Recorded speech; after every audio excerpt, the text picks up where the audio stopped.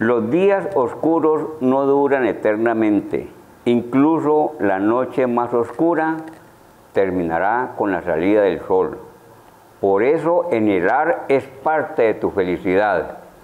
Tu actitud y no tu aptitud determina tu altitud. ¿Te lo recuerda? Anhelar.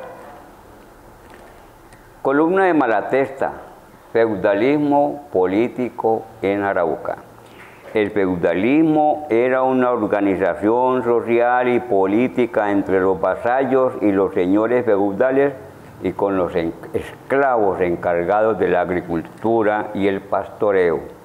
Eso fue por allá entre los siglos 9 y 15 después de Cristo.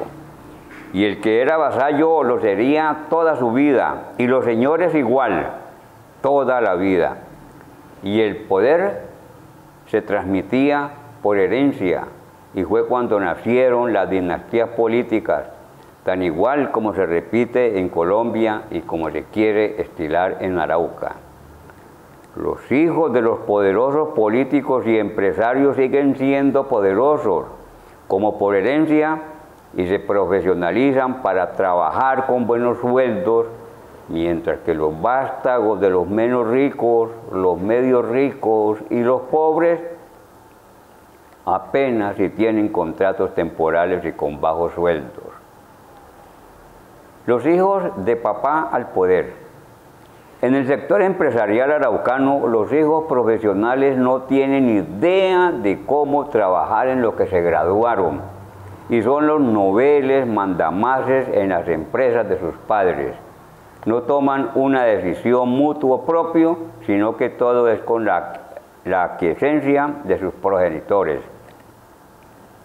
Y es similar en el campo político, donde los nuevos políticos son los viejos padres reencauchados, como lo observamos sobre todo en los concejales, sobre todo.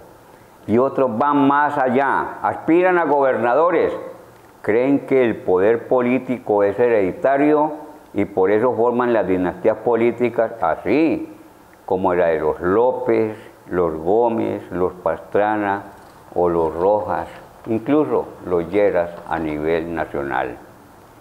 En Arauca las cartas políticas se fortalecen fácilmente en la medida que los partidos políticos se debilitan. No tenemos partidos, pero hay lealtad, como lo vemos. Hay lealtad en las cartas políticas de Arauca porque son clanes familiares en donde las lealtades no son alrededor de principios, sino consecuencia de favores y privilegios. Como consecuencia, puedo decir que no habrá democracia social, ni política, ni económica, ni cultural en Arauca mientras vivamos felices con nuestro sistema feudalista araucano en pleno siglo XXI. Por eso no dudo en leer lo de Juan Carlos Flores, un párrafo en semana. No hay demanda más extendida entre la juventud global y Colombia no es la excepción que la relacionada con la aspiración a una mayor igualdad en el acceso a las oportunidades. En el mundo se desvela hoy que la pregonada meritocracia es la estafa más grande de la que han sido víctimas las, de las que han sido víctimas las clases medias y muy especialmente la juventud. No olvide pues que las opiniones son total responsabilidad de quien las dice.